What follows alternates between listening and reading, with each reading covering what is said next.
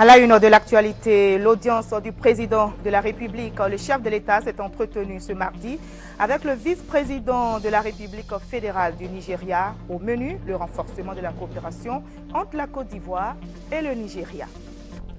Pour la première fois en Côte d'Ivoire et en Afrique de l'Ouest, le plus grand avion commercial du monde, Airbus A380 de la compagnie Air France, s'est posé ce soir à l'aéroport de Port-Boué à son bord, la première dame de Côte d'Ivoire et plusieurs investisseurs français.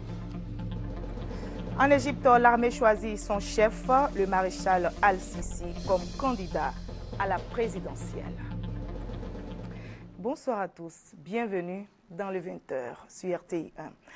Le vice-président de la République fédérale du Nigeria est en visite depuis hier à Abidjan. Il prendra part demain au Forum Investir en Côte d'Ivoire. Avant ce rendez-vous, il a eu une rencontre aujourd'hui avec le président de la République, Alassane Ouattara. Au menu, le renforcement de la coopération entre la Côte d'Ivoire et le Nigeria. On fait le point avec Viviane Aïmer. L'acte majeur de la visite officielle de 48 heures du vice-président de la République fédérale du Nigeria en Côte d'Ivoire a été sa rencontre en fin de matinée ce mardi avec le président de la République, Alassane Ouattara, à sa résidence de la Riviera Golfe. Le vice-président Mohamed Mamadi Sambo a eu un long entretien avec le chef de l'État ivoirien. Cette visite du vice-président nigérian fait partie des consultations régulières décidées par le cadre de coopération Côte d'Ivoire-Nigeria mis en place et présidé conjointement par le Premier ministre de Côte d'Ivoire et le vice-président du Nigeria. De ce fait, le vice-président nigérian et le Premier ministre ivoirien ont eu une séance de travail au préalable avant cette audience avec le président de la République, Nous sommes convenus de mettre en place euh, un cadre de coopération euh, présidé par le Premier ministre de Côte d'Ivoire et le vice-président du Nigeria. C'est donc à ce titre que Son Excellence, Monsieur le vice-président, a bien voulu venir à Côte d'Ivoire pour effectuer cette visite, échanger avec euh, nous, avec le gouvernement ivoirien sur les différents dossiers euh, qui sont donc euh, traités de manière bilatérale et bien évidemment également pour que nous puissions parler de la sous-région de la CDAO et je voudrais au nom du gouvernement, du Premier ministre, du secrétaire général de la présidence, dire à Monsieur le vice-président combien nous sommes honorés de sa visite. Au nombre des sujets examinés, l'intégration sous-régionale et la construction d'infrastructures facilitant cette intégration, notamment le projet d'autoroute internationale Abidjan-Ghana-Togo-Lagos et la construction d'une ligne de chemin de fer. Le vice-président nigérian a exprimé la satisfaction de son pays face aux avancées réalisées grâce au cadre de coopération Côte d'Ivoire-Nigeria. Il a vivement félicité le chef de l'État ivoirien pour l'impulsion qu'il a su donner à l'intégration sous-régionale au cours de ses deux mandats successifs à la tête de la CDAO. Nous avons signé dans le domaine de l'économie, de l'éducation, et je suis très heureux de vous dire que nous faisons bon chemin et que nous faisons beaucoup de progrès dans l'intérêt de nos citoyens. Et donc je voudrais saisir cette occasion pour exprimer notre profonde reconnaissance pour le leadership que vous avez donné à la CDAO. Et donc la sous-région sud-ouest africaine a connu la paix et le progrès pendant votre leadership, votre présidence de la CDAO. Et donc je voudrais vous rassurer, Monsieur le Président, que les différents euh, programmes que vous avez convenus avec votre, euh, votre, frère, le président Goodluck Jonathan, surtout en ce qui concerne l'autoroute internationale qui va connecter Lagos, Lomé, Togo, Ghana et la Côte d'Ivoire, est, est en bonne voie. Nous avons déjà atteint un niveau très avancé concernant sa mise en œuvre. Donc nous avons reçu le vice-président de la Banque islamique de développement qui a montré un intérêt très particulier à faire un partenariat avec le Nigeria et aussi euh, un chemin de fer entre le Nigeria et la Côte d'Ivoire. Le vice-président nigérian assistera à l'ouverture mercredi du forum Investir en Côte d'Ivoire avant de regagner son pays. C'est une première en Côte d'Ivoire et en Afrique de l'Ouest. Le plus grand avion commercial du monde, Airbus A380 de la compagnie Air France, est posé ce soir à l'aéroport international Félix Houphouët-Boigny d'Abidjan-Port-Boué. C'est à l'occasion du Forum international des investissements en Côte d'Ivoire dont la compagnie Air France est partenaire. La première dame de Côte d'Ivoire, Madame Dominique Ouattara, marraine du vol inaugural, le président directeur général d'Air France et plusieurs investisseurs français étaient à bord de ce vol Paris-Abidjan. Et je vous propose à présent d'écouter les interventions de la première dame de Côte d'Ivoire et le premier ministre Daniel Cablan-Duncan à l'atterrissage de cet avion. Je suis très heureuse d'être de retour à Abidjan. Euh, nous avons fait un très très bon vol avec un personnel agréable et très compétent. Mais surtout, je voulais dire que je suis très fière que le vol A380, pour la première fois, vienne en Côte d'Ivoire, en Afrique francophone et en Afrique de l'Ouest. Et je voudrais féliciter les responsables d'Air France pour euh, avoir pris cette initiative qui va relancer le développement économique de la Côte d'Ivoire. Je crois, comme la Première Dame l'a indiqué tout à l'heure, c'est une fierté pour la Côte d'Ivoire d'avoir la A380 qui vient ici à Abidjan. Euh, c'est son premier vol, comme l'a souligné tout à l'heure, en Afrique francophone et en Afrique de l'Ouest. Personne à bord, sont pour la plupart des investisseurs qui viennent pour le forum investir en Côte d'Ivoire. Là aussi, c'est un élément très important, puisque au total, de ce que je crois savoir actuellement, nous avons plus de 2500 personnes qui ont participé à l'ouverture. Je pense que c'est l'émergence qui commence dès maintenant. Voilà. Voilà, vous venez d'écouter la première dame de Côte d'Ivoire et le premier ministre Daniel Cablan-Duncan après l'atterrissage à Abidjan du plus grand avion commercial du monde, le vol Airbus A380. ICI 2014, le Forum international des investissements en Côte d'Ivoire s'ouvre demain. Plus de 2000 participants sont annoncés à ce rendez-vous incontournable du renouveau économique ivoirien. Parmi ces participants, 50% sont des Ivoiriens, un taux salué par le patronat, nous explique Noël Niagno.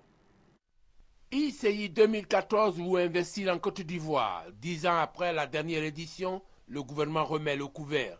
Les fondamentaux restent les mêmes un rendez-vous pour promouvoir et rendre visibles les opportunités d'investissement de la Côte d'Ivoire auprès des partenaires financiers et industriels de Côte d'Ivoire et ceux venus des cinq continents avec une particularité pour la présente édition, un investisseur sur deux est ivoirien. Un discours. Les Ivoiriens ont compris euh, l'intérêt d'être entrepreneurs et donc de développer eux-mêmes leur pays.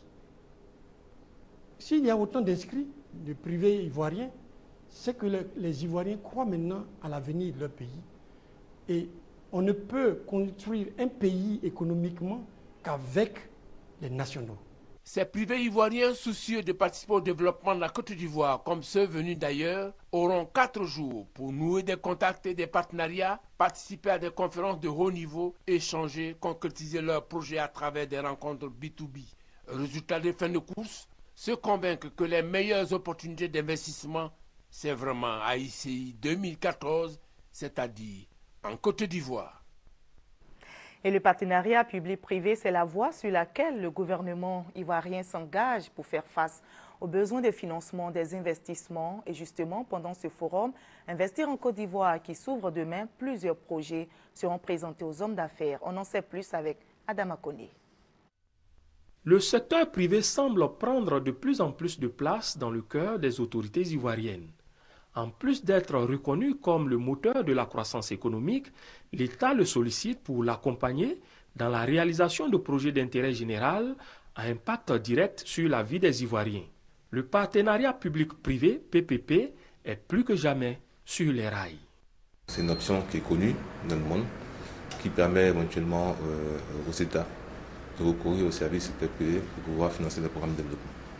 Donc, euh, ces mécanismes euh, assez spécifiques qui permettent de, réduire les risques en matière de, conception, de construction, d'entretien et d'exploitation euh, des services publics, permettent de répondre aux préoccupations des populations.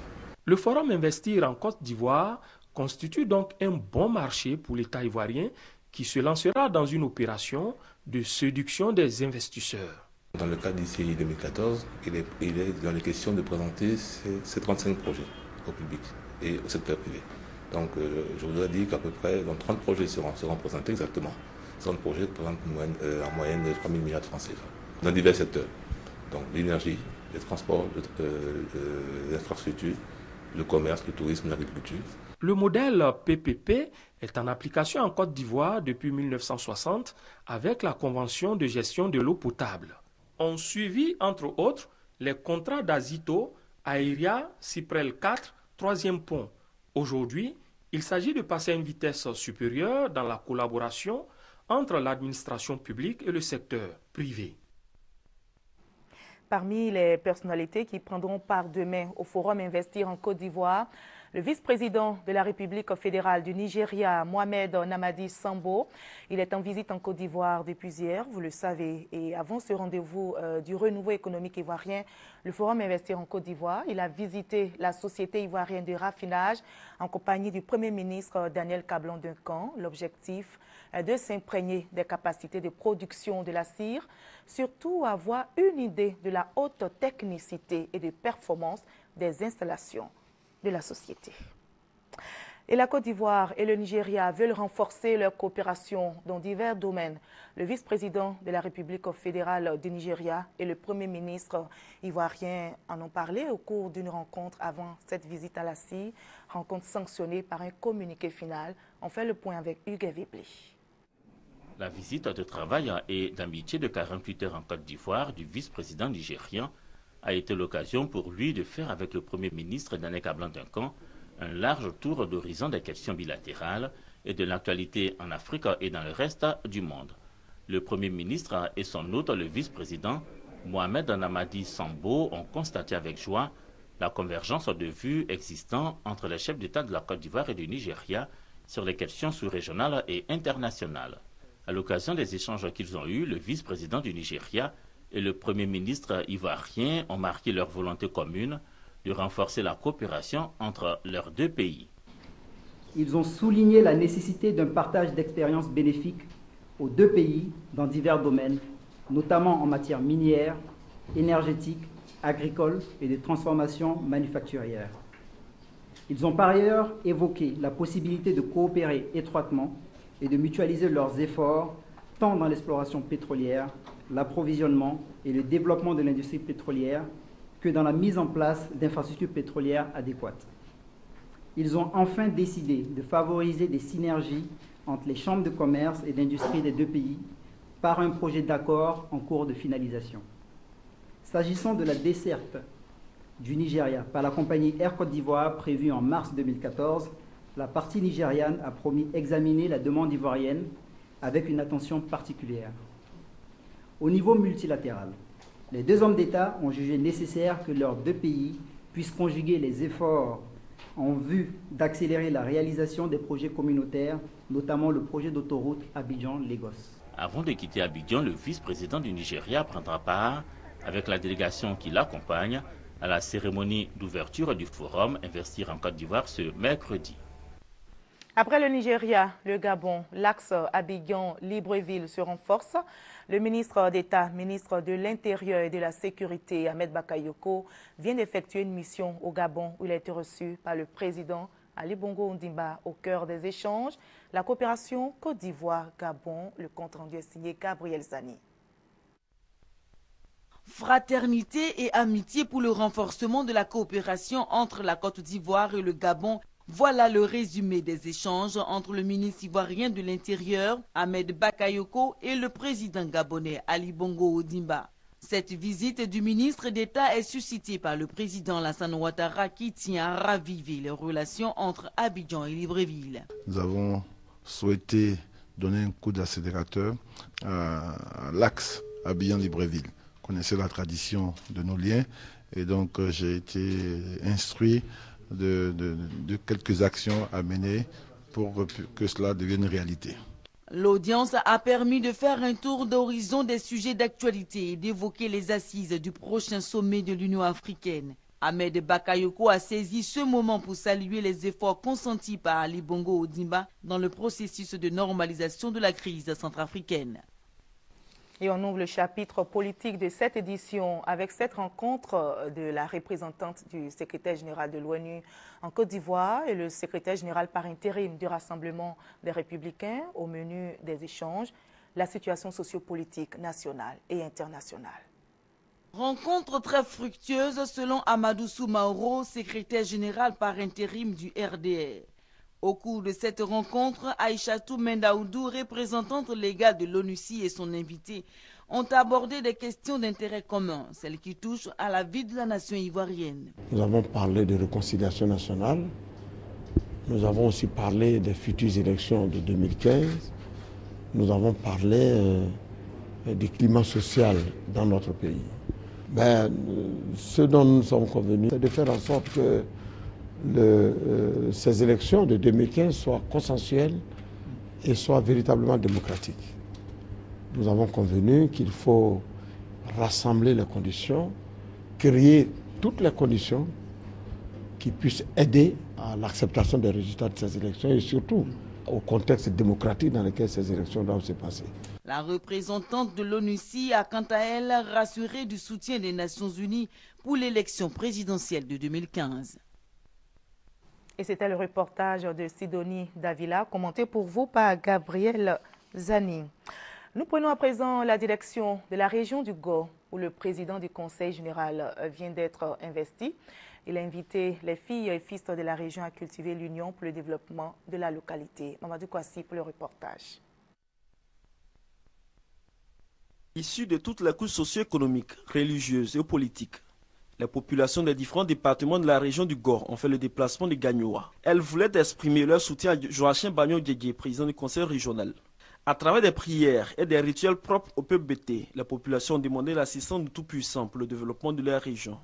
Le président du conseil régional du Gore, Joachim Bagnon Didier, a pris l'engagement de booster le développement de la région tout en luttant contre la pauvreté. Bagnon Didier compte s'appuyer sur le projet communautaire et surtout sur le financement des micro-projets en faveur des femmes et des jeunes. Il soutient que cela ne peut être possible que dans l'unité et la paix. Chers frères et sœurs de Gore, à votre présence à tous, je voudrais inviter les cadres de cette région. Je leur demande de faire en sorte que Gagnoua cesse de pleurer. Tout dépend de nous, cadres de Gagnoua. Je demande au peuple ivoirien de ne pas se venger. La vengeance appartient à Dieu et la rétribution appartient à Dieu. Pour la circonstance, le président du conseil régional a reçu le soutien de sa famille politique, le PDCI RDA. Niamien Goran, représentant le président Rikonan Bédier, exhorte les populations à l'union autour de leur projet commun qu'est le développement. L'œuvre de développement local est une affaire de tous qui commande que chacun apporte l'appui et le soutien indispensable à la promotion et à la réalisation des actions de développement qui permettront de réussir la lutte contre la pauvreté. Après cette rencontre, le président du conseil régional du Gore et son équipe vont investir le terrain en vue d'apporter un mieux-être aux populations. Et c'était le compte-rendu euh, de la cérémonie d'investiture du président du conseil régional de la région du Go avec Mamadou Kwasi. L'hôpital général d'Annie Belocro et le centre de santé de Yakassé FAC viennent euh, de recevoir une ambulance. C'est un don du conseil régional de l'Indénie du Ablin. On en parle avec Eugène Atoubé. Dans ce véhicule, un malade. Son état lui commande d'être transporté à bord d'un véhicule médical. Mais à Belocro, l'hôpital général, établissement sanitaire de référence, était encore sans ambulance au moment de la scène.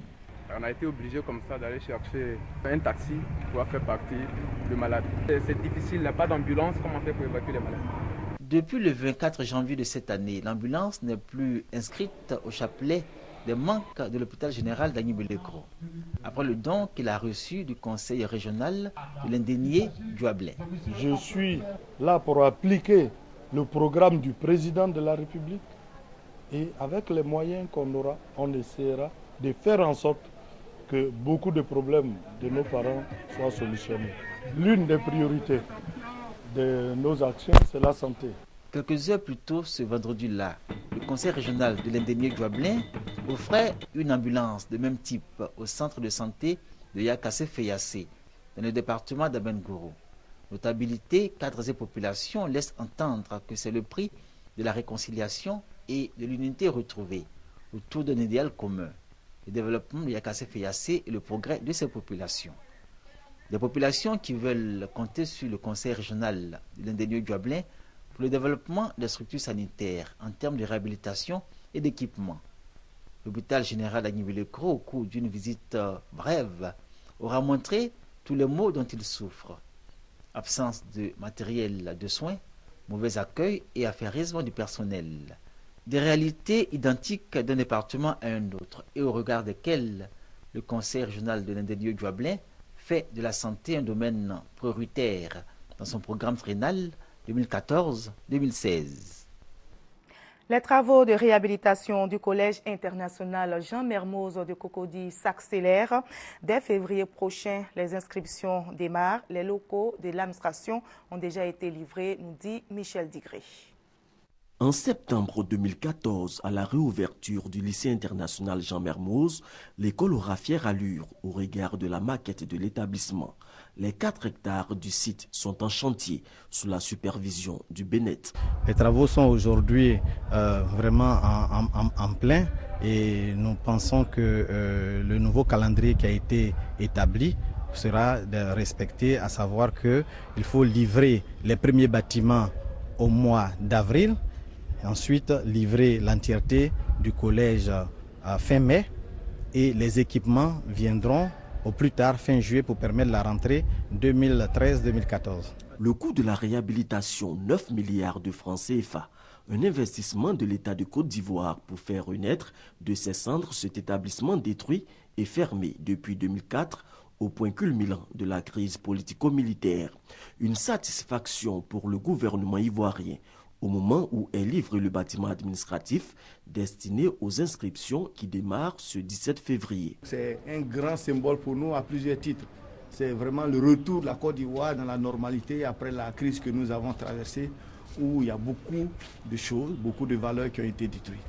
Cet établissement est fait aussi pour signaler euh, la volonté du gouvernement ivoirien d'accueillir de grandes institutions internationales, notamment la Banque africaine de développement, dont évidemment la, composition euh, africaine de l'encadrement justifie un programme adapté, le programme français, mais aussi une ouverture.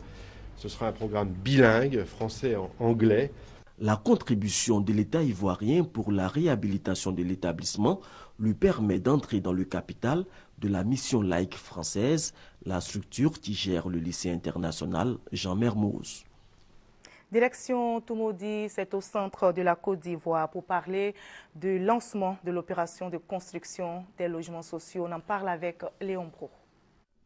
Une villa tout équipée, témoin de 200 logements sociaux et économiques, tous des maisons évolutives de 2 à 4 pièces pour réduire le déficit de logement. Nous sommes à Toumoudi, région du Bélier. Déjà trois habitants en finition augurent d'une cité moderne avec école, centre commercial, espace vert, bâti sur un terrain de 5 hectares. Je suis heureuse.